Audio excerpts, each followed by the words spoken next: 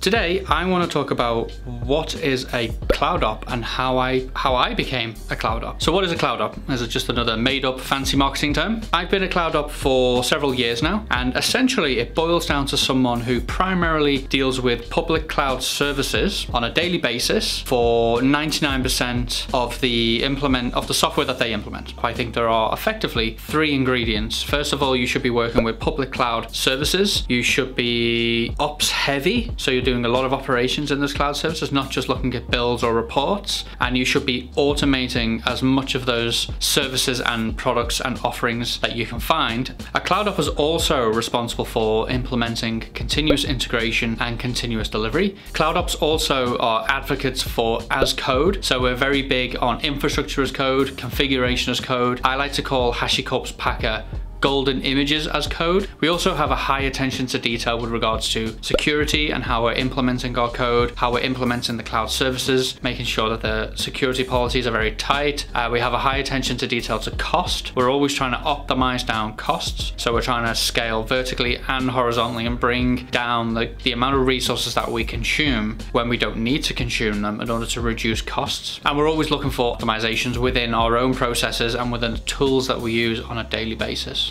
and we just aim to automate absolutely everything that we can. So my career into cloud ops was essentially I started as a Linux administrator, a junior Linux administrator, looking after about 30 to 50 Debian servers that were based on just whatever hardware my boss could find on eBay. In time, I then moved on to much larger companies and eventually I reached Rackspace UK where I worked for just over a year, just as they were building uh, their own cloud, their own public cloud offering. And in fact, it went live and was public when I worked there. That was when I realized that I wanted to move away from dealing with the traditional setup, which was uh, physical boxes in a data center or even on-prem, and move towards just spinning up servers with the click of a button in a web console near instantly. I knew that that would be big. I knew that businesses and governments would want that. I could see why that would become very powerful. And of course, those cloud providers as well also implemented a lot of APIs and made the cloud automatable straight out the box. So eventually I moved on moved on from Rackspace and just took jobs that involved cloud-based services in Amazon, Google, or whatever I could find, and also with organizations that were very keen to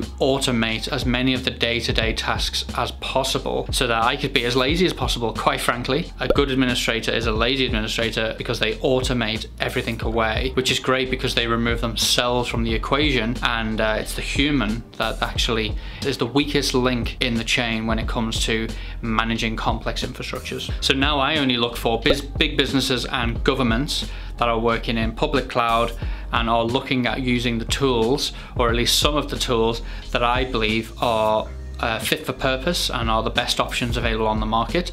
So what tools do I use? So AWS is my primary public cloud choice. I like Google and Azure as well, but I primarily work with AWS. I prefer Terraform for provisioning infrastructure. Ansible is my choice for provisioning the operating system or rather updating the operating system as well as software, services, users. I use Packer with a combination of Ansible as well in order to manage my golden image, in order to manage my AMIs to ensure that they're up to date, that they're secure. I use GitLab for my SCM, so I prefer Git as my version control software. I think most people do at this point. I also favor GitLab for my continuous integration and my continuous delivery. Continuous integration is also one of the core components of any cloud ops job, as well as continuous delivery. That being said, these tools aren't the be all and end all of everything. You can actually use whatever tools work for you. These are simply the tools that I found have worked for me for many years in many different environments from small to large. And with that said, that is essentially a cloud op in a nutshell. So to summarize, a cloud op is someone who spends about 99% of their time working with public cloud services. They are automating as much as possible. They are refining their processes. They are automating as much as possible. They are optimizing as much as possible. They are